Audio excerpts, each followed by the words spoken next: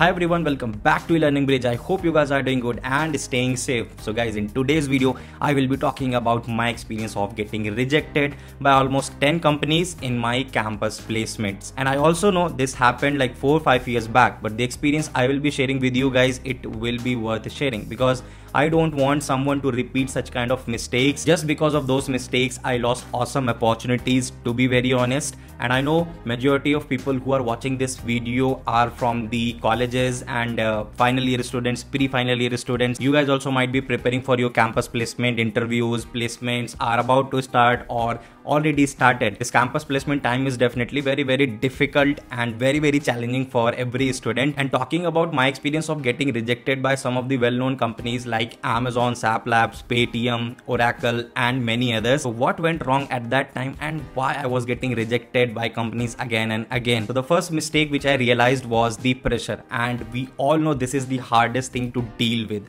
and same thing was happening with me although i was decent in programming my dsa fundamentals were clear I was able to solve questions on different platforms, right? Coding platforms. I was able to solve it, right? Solving such kind of questions on online coding platforms and getting good ranking, earning badges, and even solving those questions on pen paper is a different thing. But when you sit in the campus placements and you are asked to solve some coding questions in the given time window, like two hours and one hour, that is a different story. That is a different kind of pressure. And that was the prime reason of getting rejected by starting one or two companies like Amazon and Paytm.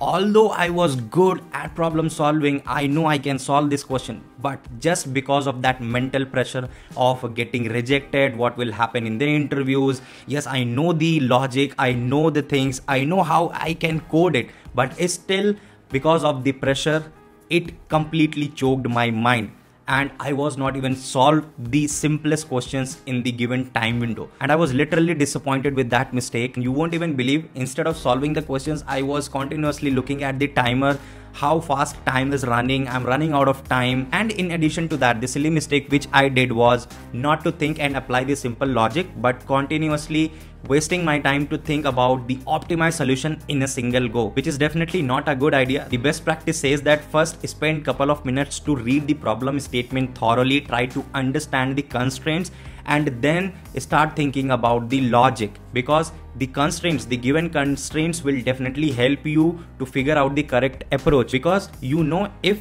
this is the given constraint probably it cannot be solved with O of n square time complexity. You have to come up with a n log n kind of solution. So you will definitely try to think in that particular direction. That was the thing which I didn't follow at that time. There is an important announcement for each and everyone who is watching this video. Every year LinkedIn publishes the list of India's top 10 startups. However, getting into these startups is a bit difficult because they are always hiring from the top tier colleges like IITs, IIMs, NITs. They receive a lot of resumes for every role they open on their portal. So the chances are really high that your resume will get missed if you are not following that criteria. Now there is an easier way to get job in India's top startups like Upgrad, Razorpay, Urban Company, Yellow Messenger and Cred. By using platform like Relevel by Unacademy, you will not require your resume to interview with these companies because these companies has started hiring through a test where candidates can sit in the test based on their skills. They can crack the test and they will get the score. Based on that score, you will become eligible to interview with these companies. Right now, these companies are hiring for three categories business development, front end development, back end development.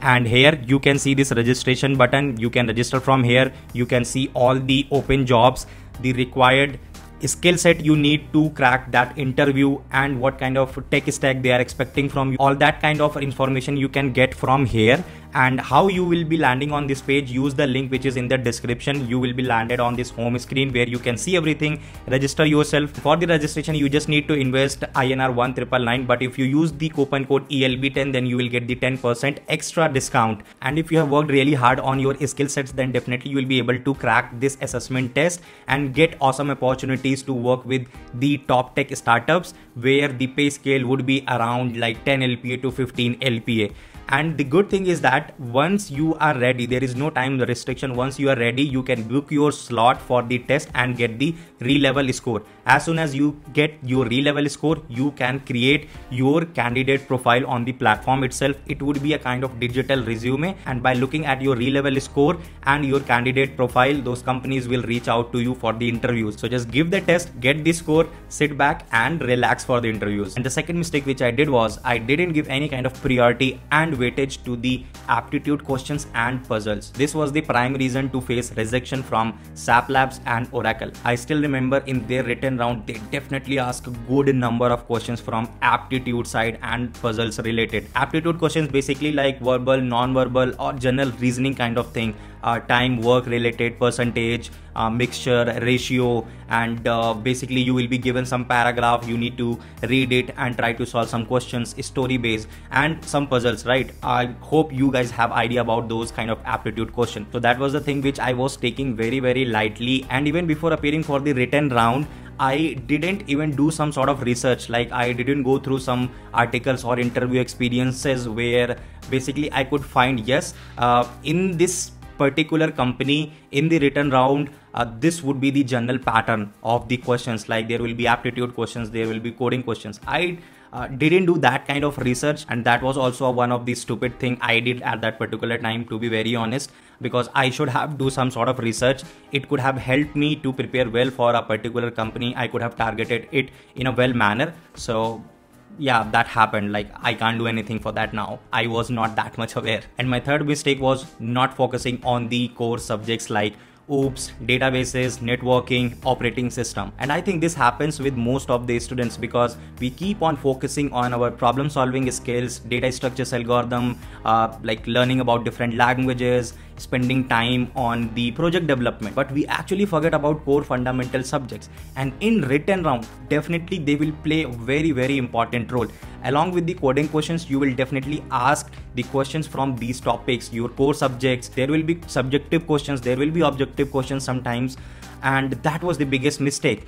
Uh, i knew at that particular time i knew that uh, these are the core subjects and this will help me to create a good project and even I will be working in a company. I need to use these components on my day to day activities. And because of less research work, I thought programming problem solving part is the only thing which matters for the freshers and companies will uh, judge me only for that particular part. And that mentality was my biggest mistake because during the semesters i didn't even focus on these kind of subjects. I didn't read them thoroughly. I didn't deep dive into it to understand its core component and to understand its importance in software engineering profile. So before appearing into the written rounds i was just spending my time to go through with some important interview questions of these subjects I was just preparing those questions only. But when I started solving the question in written round, it was a different story because that kind of preparation was not good enough. And I realized that I should have invested my time to understand about these subjects in a practical way, not for the interview perspective and not for the theoretical perspective because uh, you can understand these subjects and you can deep dive into these subjects if you will try to understand it from a practical perspective.